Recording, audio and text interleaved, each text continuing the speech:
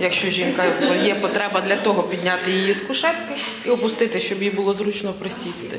Потім для удобства е, лікаря, для огляду, щоб було зручно йому оглядати, і ми його піднімаємо. Гінекологічне крісло регулюється автоматично і зроблено таким чином, аби зручно було і пацієнткам, і лікарям. А спеціальний підйомник допомагає перемістити жінку з колісного крісла на оглядове.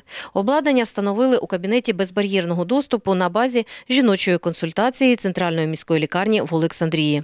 Безбарьерный доступ не имеет возраста, не имеет социального статуса, не имеет э, территориальной э, регистрации, не имеет языка, не имеет национальности. Он всеобъемлем для всех.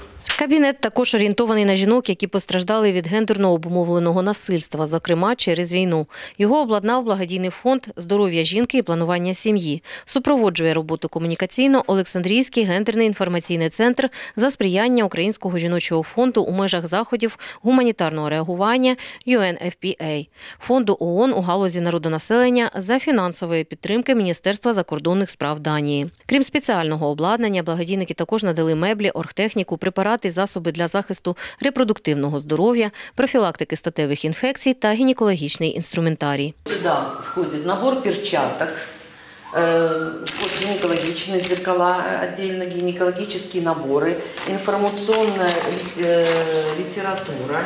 У кабінеті безбар'єрного доступу жінки можуть отримати не лише кваліфіковану медичну, а й психологічну допомогу.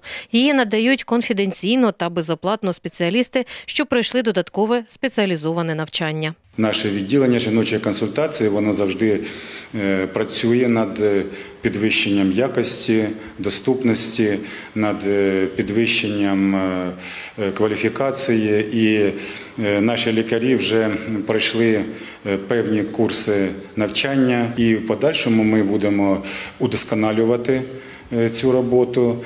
Зараз відпрацьовуємо режим роботи. Відкриття кабінету суттєво наблизило рівень надання меддопомоги в Олександрії до сучасних стандартів, а також зорієнтувало її на значно ширше коло пацієнток, зокрема з числа внутрішньо переміщених осіб.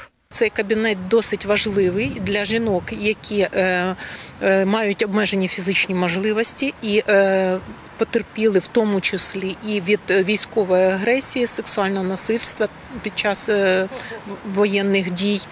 І е, на сьогодні е, мені хочеться подякувати фонду здоров'я жінки планування сім'ї за те, що вони долучились до реалізації такого проекту, який вкрай необхідний для жителів нашого міста, району і е, внутрішньо переміщених осіб. Крім Олександрії, гінекологічні кабінети безбар'єрного доступу на території області також відкрили у Кропивницькому, Гайвороні, Знам'янці та Світловодську.